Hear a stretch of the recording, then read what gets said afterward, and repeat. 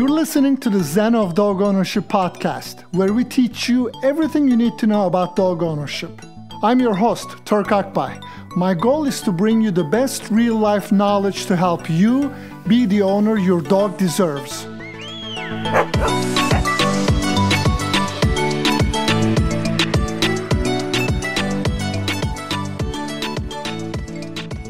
Hey, Turk. Hey, hon. What's happening? It's good. It's good. Well, it's a nice sunny day outside. It's perfect day to walk dogs. That's right. That's right. Beautiful day in North Carolina in February. Gotta yeah. love it. All right. Well, today we are talking about leash aggression. And I know so many clients, potential clients, people ask about this. So I'm excited to get to share some really great information with our listener. Yes, thank you. Yeah, leash aggression is when somebody says leash aggression, I said, ooh, sounds like money. oh my goodness. You're so silly. but well, it is, it is something. Yeah, it's a huge issue and it makes walking your dog not fun. If your dog yeah. has leash aggression, like it either makes it obsolete where people don't walk their dog or they walk their dog super late at night, you know, or early, early morning, you know, or it just, or they take their dog out with these other dogs and they're, you know, you can just see the, the misery in the owner's eyes, like, oh, it's so, it's so hard. It's really hard. So um, I hear, like, I empathize with anyone who has that um, challenge at the moment. But leash aggression usually means this the definition is dog becomes aggressive when they're on leash. People call, they're like, hey, my dog is really sweet, no problems. But when he's on a leash, when they see other dogs, it just goes nuts. Or when it's on a leash, when I correct my dog with a leash, it turns and tries to bite me or is mm. trying to chase things. So when dog displays an unacceptable behavior other than pulling, aggressive behavior, that is what we call leash aggression. Right, right. And it is true that their dogs off leash can be like they could have leash aggression and not be aggressive towards other people, dogs, animals when they're off leash. Yes, which always blows my mind. Yeah, yeah. That's why we I, we wanted to make this episode because it's usually people will say that it's like, oh, if my dog was off leash, um, then it wouldn't be a problem. And often, you know, because of the leash laws or whatever. And so, well, let's talk about the reason of it. So yeah. there's an um, a, a, an energetic reason, and then mm-hmm. there's a physiological, more three dimensional. So there's an etheric reason for leash aggression, and then there's actually some physical reason for leash aggression. First and foremost, the way that I describe this is if your dog is have leash aggression, that means your dog does not trust you, the human. Don't take mm. this personal, please you know your dog is a dog your dog can love you 100% and can even relatively respect your position and at the same time be leash aggressive. The, the dogs like us deal with stress and fear in three ways. Freeze fight or flight.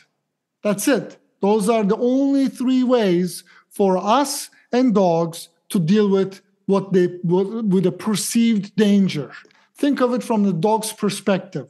So the dog is tied to a human, and dog thinks, not this complex, but the, this analogy is to help us understand our dogs better. So dog thinks, you're slower than me. You can't really smell what the other dog and what the other people are doing. So you're pretty ambivalent to what's happening here you don't have any canine teeth. You don't you don't have any natural capabilities of harming this danger. So and i'm tied to you. So now what option dog does not have? And that's the flight option. Dog understands that if you were to die you're dead weight. So now your dog is stuck with you and then they cannot protect themselves. So most leash aggression is actually a defensive posture rather than an offensive posture. And right. when I say this to people, it clicks. They go, oh, that makes total sense.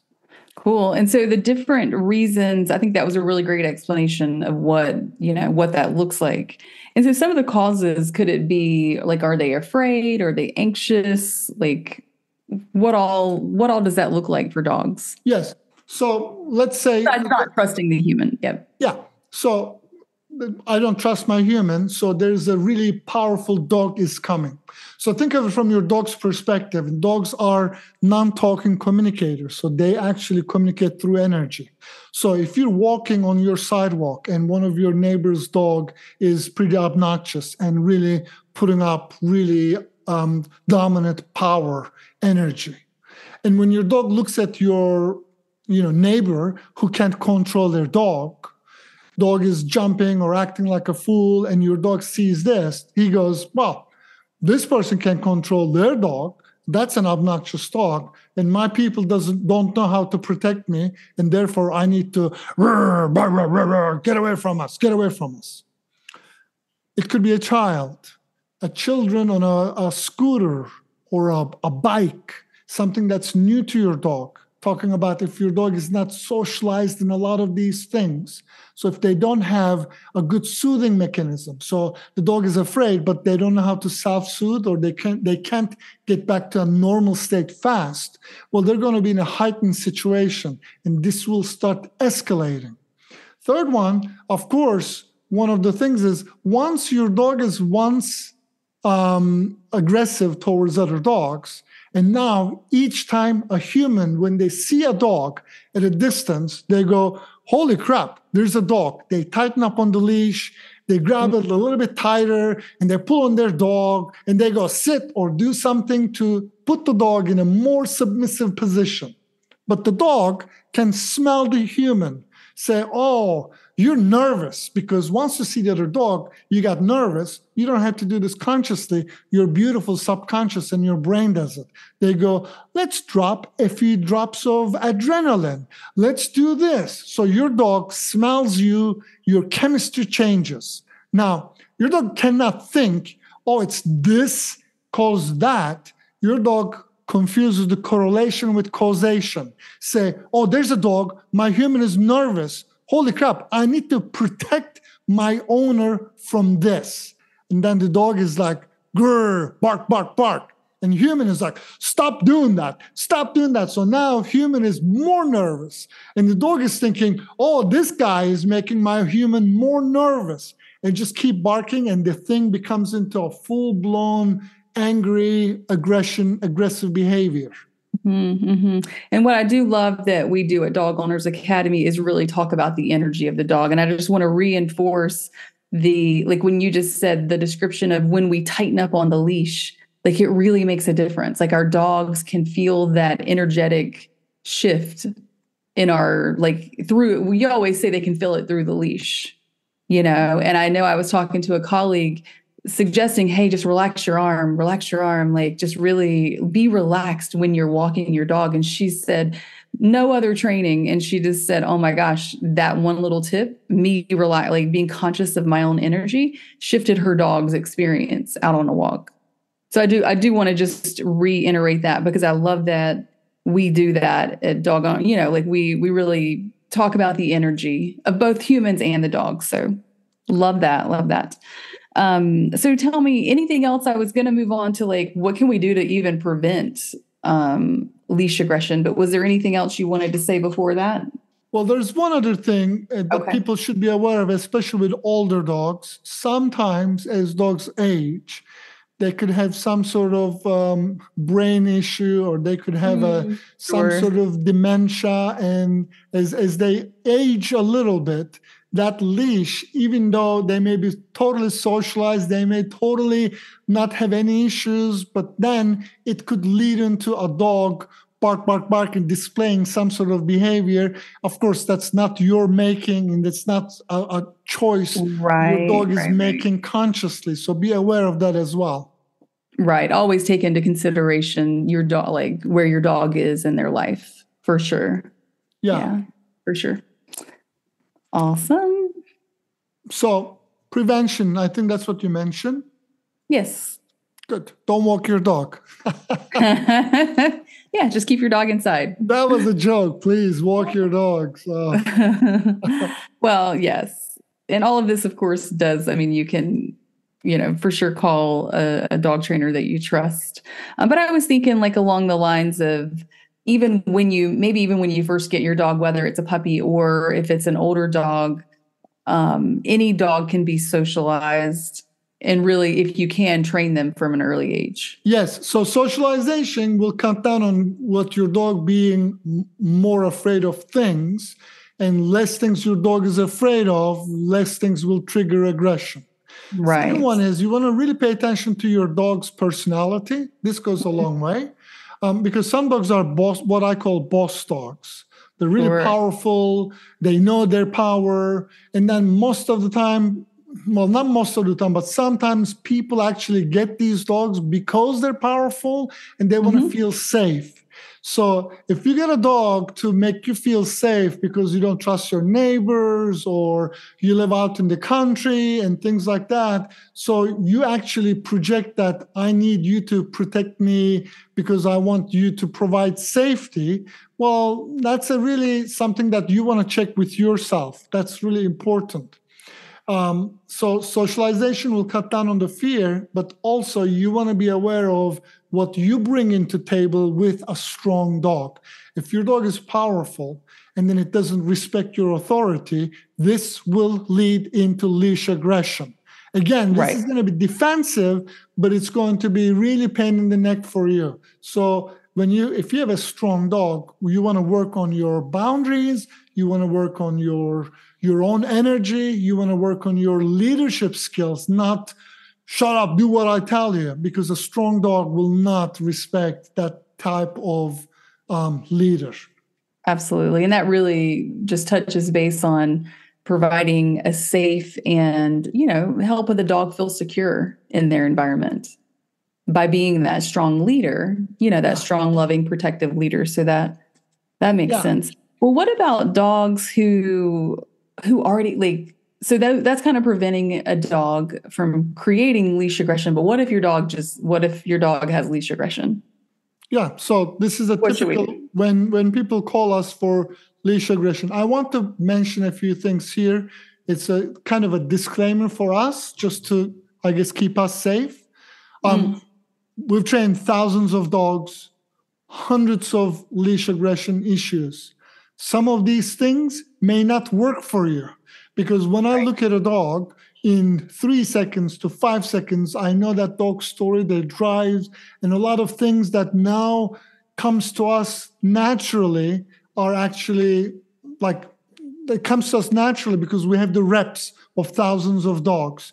If you have sure. a leash aggressive dog, it's ideally you probably want to call um, a professional dog trainer to assist right. you to create these boundaries and things because um, sometimes leash aggressive dogs tend to turn on their owners mm. just to correct them.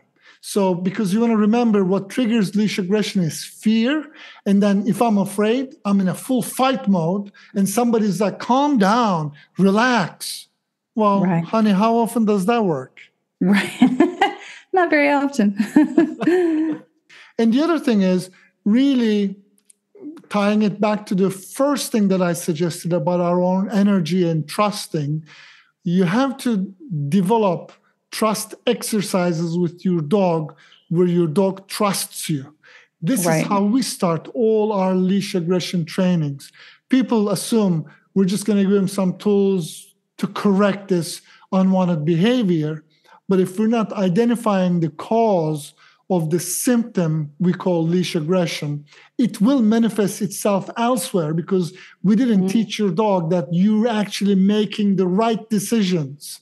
And then the dog should rely on your judgment. So, first couple lessons when we're working with leash aggressive people, sometimes longer, but we first work on the dog, trusting humans, judgment. And then mm-hmm. they say, oh, this human is not killing me. And then right. I thought this was a wrong decision because I was exerting all this energy, but my human didn't. And we turned out okay. These are really critical and important things for you to work on. Right. So it's not about just correcting the behavior, but really getting to what are the causes and conditions of what's creating this leash aggression. Yes. Otherwise, it will manifest itself elsewhere. I mean, mm-hmm. don't do this. And we may even cut this out of the, the, the podcast when we're editing. But if your dog is being aggressive, you punch your dog. Do not do this. But if right. you punch your dog, your dog stops doing this behavior, let's say. Well, if you didn't address this trust issue, now your dog is going to attack cars or do other stuff. So the correction comes way, way down the line on, on after we actually built this um, relationship and then trust and everything else. This is what I was saying about the positive reinforcement of the right behavior, as well as teaching your dog to trust your judgment. Those two elements has to be in place you, before you can move forward in a, a right and meaningful and permanent way. Right, right. And one other thing that that made me think of was that how much stress that causes the dog when they're in that fight or flight position. And I was just thinking health wise, just like with people, like extra cortisol and extra things released in the body when we're in that stressful place. I mean, it's just not healthy for us. So what well, a beautiful solution, you know, to build trust between the owner and the dog and and things like that. Yeah, 100%. In fact, you know, I mean, you get these calls or you, you used to get these calls all the time. People go, oh, right. oh, my dog is so much more loving. Like a dog that's super loving, also obnoxious on a leash, this could happen. And but once that trust happens, that you see, in what mm. you were mm. saying, this is an acidic life. Imagine right. that if your dog is a leash aggressive dog, that means that they feel threatened every time they're on a leash. So you're walking your dog, they're getting their exercise, maybe, maybe they're peeing and pooping. That's really cool, but it is a fight or flight um, constant battle. Right. So right. once your dog is really start trusting you and you know how to lead your dog, and now the walk is actually a bonding experience. So now you have serotonin, your dog has serotonin. Now it's not an acidic life anymore. It's actually an you know alkaline life, and it's a really right. nice calming effect 100% yeah right right. And you know i know for me i automatically think of when i think of leash aggression i think of big dogs or you know powerful dogs but also small dogs. Like you see small Have dogs just, yeah that's what i mean. You know that's just my brain goes to the big dogs but it's really those the little dogs too that are just barking and you know it's they're a little easier to manage definitely in quotes as far as weight. You can scoop up your dog, you can pull your dog, you know, you can do things with smaller dogs, but just how important it is for these little small dogs that um, have a leash aggression as well to address that. Well, you're right. So that's what happens, right? You see, mean, you know, I don't want to isolate breeds, but you know, ongoing joke is when we see a dachshund or when we see a chihuahua, we said, hey, should be named Napoleon, right?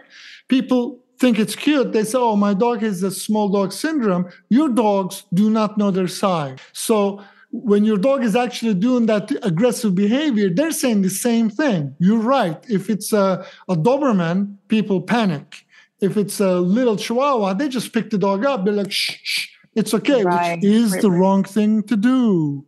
Aggression is an aggression is an aggression. So if you have a small dog that technically speaking you can control it, but hear me out your dog is in a heightened, unhealthy, stressful state. It's true that you can manage it, but that's what caused cancer. That's what caused disease. That was, you know, yeah. that acidic lifestyle is not good for your dog. Right, right. So yeah, so please, yeah, address your little small sweet dogs too, because they it, it happens in the same way. Yeah. For sure. Yeah. Mm-hmm. Absolutely. Yeah. Work on this balanced relationship with your dog where your dog trusts you. Expose your dog gently onto things where they perceive to be fearful, and then just keep reinforcing the right behavior while correcting the unwanted behavior. Absolutely. And usually, leash aggression and fear aggression, those two ways, you'll go a lot longer, a lot faster, a lot efficiently if you were to hire a professional dog trainer whether us or whatever, but it is important for you to not just hire any dog trainer, but this dog trainer you're looking for should understand fear aggression specifically, and they should have experience enough to guide you and your dog.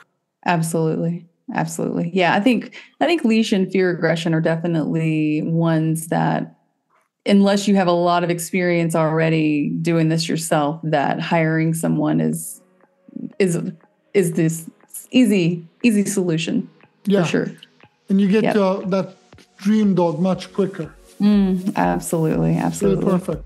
Well, cool. I hope you enjoyed the show. Please leave a comment if this is helpful. If if this resonates with you, please subscribe. Share this episode with your dog friends. This is Zen of Dog Ownership Podcast. We create this podcast for you. Please share it with others. Have a nice day, everyone. Thank you.